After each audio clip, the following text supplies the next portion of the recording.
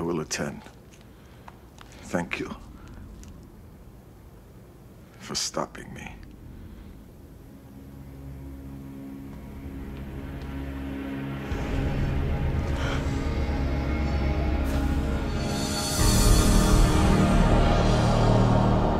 Ambassador Mollari, what about the Narn civilian population?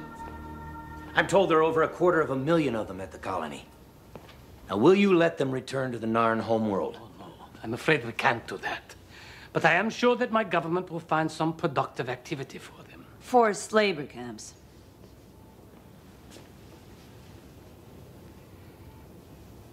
Simple retraining.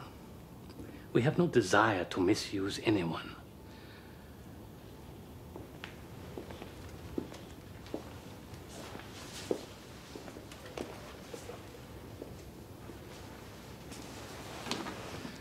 I should mention that I have just received permission by my government to send observers to the colony.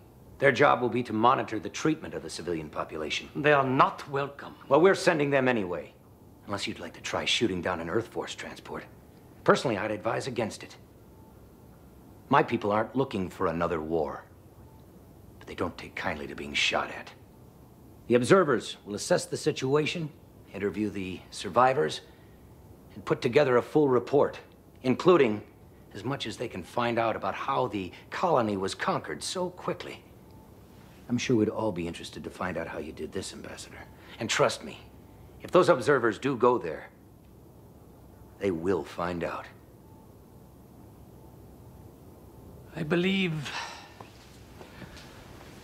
I believe that I may be able to convince my government to allow the colony's civilian population to leave the area and safely return to the Narn homeworld as a gesture of goodwill. That would remove the need for observers from Earth. Wouldn't you agree, Captain? Under those conditions, yes.